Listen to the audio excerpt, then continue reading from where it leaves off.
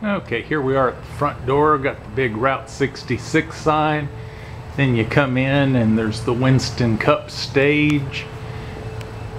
We have Lightning McQueen there and the kids can get their picture taken.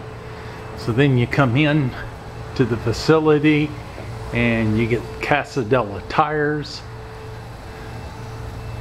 On the left, then some of the buildings in town on the right have the signs along the road, the old Burma-Shave type signs. There's Ramon's Body Shop. The entry back to the hallway is a oversized cone. And then we have the Cozy Cone Motel, complete with a little garden and Volkswagen Bug insects some more building down the side. Cozy Cone Motel sign. And the big oversized traffic cone. And then in the back is Flo's with the V8 up on it and the general store. With all kinds of ads and things to sell. And it Flo's, you've got the awning with the pistons and connecting rods and the gas pumps under it.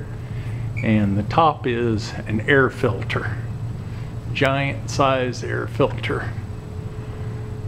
And the V8 sign.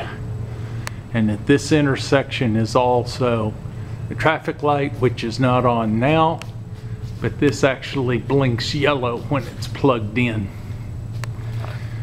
And come back into the back area. We have Mater's area. There's Tow Mater's sign and his junkyard. And across the back is the Cadillac mountain range and the Radiator Springs Mountain.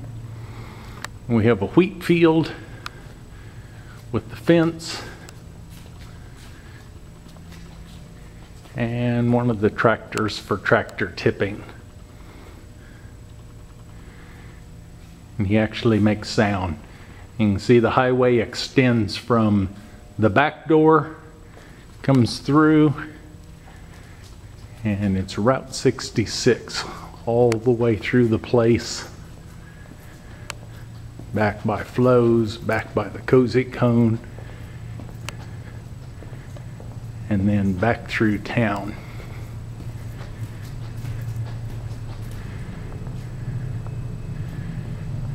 Back to the entry.